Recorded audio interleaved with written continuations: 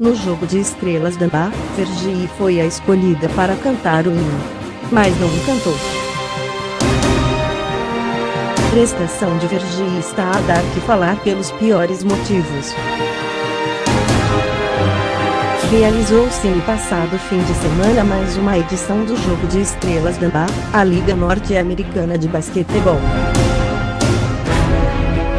A cantora Vergi foi a escolhida pela organização para interpretar o hino dos Estados Unidos, mas a sua prestação está a dar que falar pelos piores motivos. Fergie decidiu cantar o hino numa toada bastante mais sensual do que aquela que a música pede, causando estranheza nos e gargalhadas profundas noutros. A cantora respondeu já às críticas, dizendo ao website TMZ que tentou trazer algo de especial para Amba, mas esta interpretação não atingiu o nível pretendido.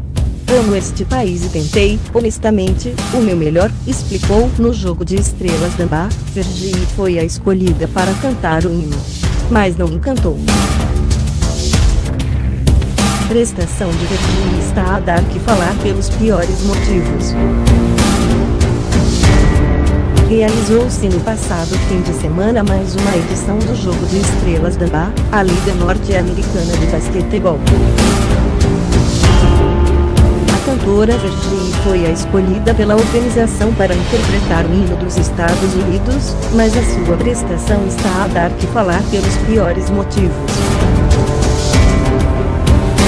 Virgie decidiu cantar o hino numa toada bastante mais sensual do que aquela que a música pede, causando estranheza nos gargalhadas profundas noutros cantora respondeu já às críticas, dizendo ao website TMZ que tentou trazer algo de especial para Amba, mas esta interpretação não atingiu o nível pretendido.